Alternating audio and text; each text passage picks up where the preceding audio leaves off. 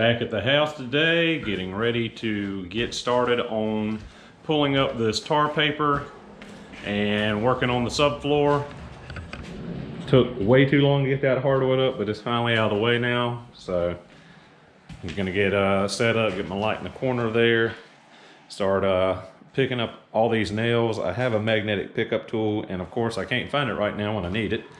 Uh, it made this job a heck of a lot easier to do. So it is what it is. So I'll go around, get all these nails up, start ripping up this tar paper, and then we can start getting the subfloor out of the way so we can get to the joist, get to the rim joist, and see how involved this damage actually is. Man, that's a lot of nails. Got us a floor and nail casserole going.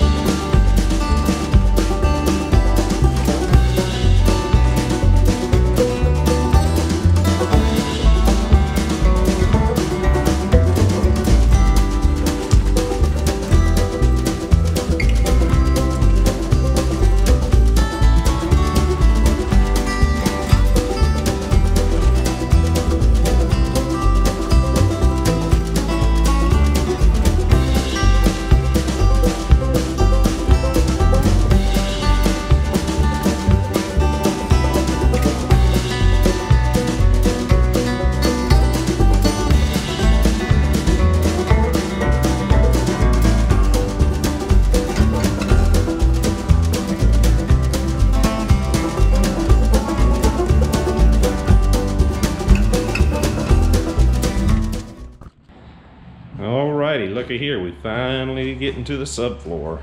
So, now I guess I'm gonna start pulling this subfloor back along this wall, a couple feet in, just to see how far back the joist have damage in them from the rim joist, and to see how far down the damage is that the rim joist has. So, what I have to do is, since the subfloor of course goes under the bottom plates of this wall, I'm gonna cut it, uh, cut all these slats a few inches back from the subwall. So uh, there's still something uh, underneath and we can uh, come back in with plywood or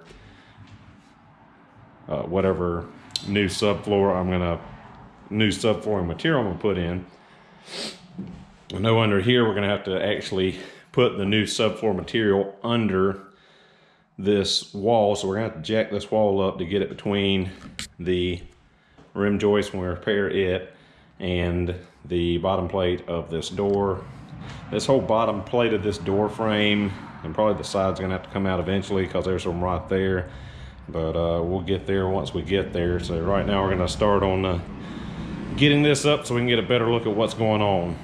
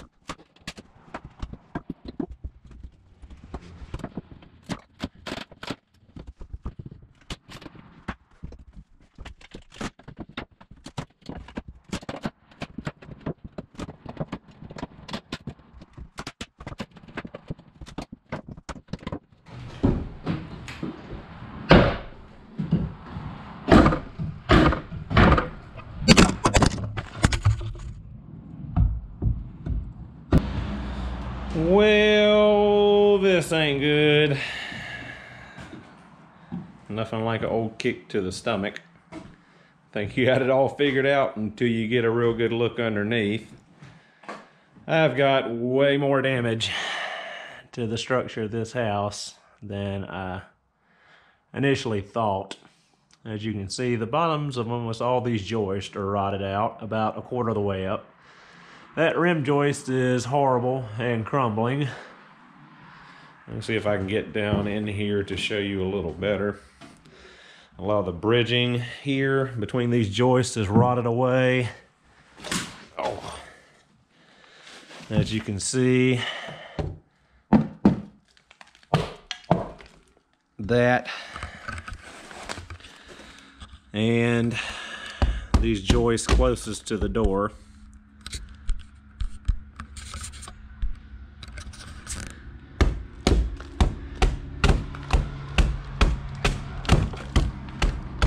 just rotted mush.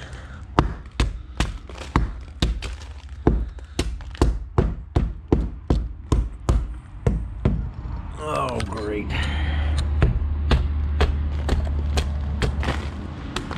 Just crumbling away. You know, I first uh, I first theorized my issue was uh, this main door seal right here is what the rot uh, problem was. And I'm sure that's part of the problem, but I think now what I'm seeing is the issue here was when the HVAC, central heat and air, was installed in this house, and they went in and put this fiberglass batting insulation between the floor joist. I think that's what did the damage to these joists because there's no vapor barrier on this ground. It's just regular old Carolina red clay soil and it holds a lot of water and is usually wet all the time. When that stuff starts evaporating, it has nowhere to go but up. So, normally in an older house, it gets into the joists and everywhere else, but there's plenty of airflow and it's able to dry out. I think that after they put that fiberglass batting in there, all that moisture coming out of the ground got trapped in that fiberglass insulation. It couldn't dry. It held moisture against the joist, and that's what rotted these joists out. Not 100% sure, but I got a strong working theory that that's what the issue here was. so was the HVAC ducting. I have to gut all that crap while I'm under here. And I see an issue there. Let's see if I can get back up here without collapsing this whole daggum floor. Oh. Is that the rim joists were placed directly on these brick and mortar footers. There's no vapor barrier between that. I don't believe there's any vapor barrier between the rim joist and the brick wall. It looks like the tar paper inside on the outside of the wall stops at the bottom of the wall, which doesn't do much good to help the daggum rim joist not absorb water. But it is what it is. So at this point, I'm going to take a minute and sit back and try to think this through. But I believe my plan of attack at this point will be to rip up the subfloor back further to see how far back this uh, damage actually is, this rot in the lower portions of the floor joist. If it's only about half the room, great. If it goes back further, I'm not sure what I'm going to do. But if it stops mid length of the room right about here, that shouldn't be too terrible. I can go through, jack up, and support each joist individually here at the midpoint.